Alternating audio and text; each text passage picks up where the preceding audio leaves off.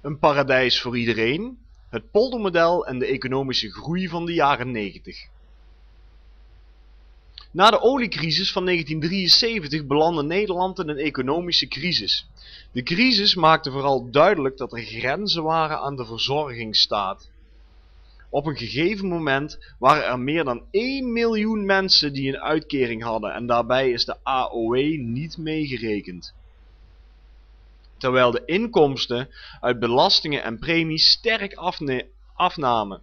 Dat moest een keer fout gaan. Hier zien we een gevolg van de oliecrisis van 1973, de autoloze zondag. De overheid, werkgevers en werknemers spraken een aantal maatregelen met elkaar af. De lonen mochten niet te veel meer stijgen, zodat Nederlandse bedrijven beter konden concurreren met het buitenland.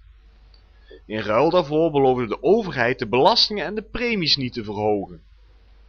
Dit overleg tussen overheid, werkgevers en werknemers wordt het poldermodel genoemd. Hier zie je een spotprent over het poldermodel waarin toenmalig minister-president Wim Kok met de werkgevers en de werknemers vrolijk de berg ophuppelt. Het overleg, het poldermodel dus, had succes. In de jaren 90 van de vorige eeuw begonnen de economie en de werkgelegenheid weer te groeien. Dit had niet alleen te maken met het poldermodel, maar ook met de wereldwijde economische groei die op dat moment plaatsvond. Die was te danken aan de opkomst van de computer en het internet. Ook de Nederlandse, Nederlandse industrie moderniseerde snel.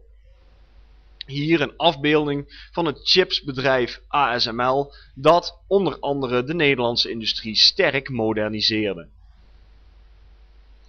Toch zijn economische groei en welvaart niet vanzelfsprekend. De vergrijzing is een bedreiging voor de welvaart en voor de verzorgingsstaat. Dit omdat het aantal AOW-gerechtigden, Algemene Ouderdomswet, stijgt en het aantal mensen dat premie en belasting betaalt, daalt.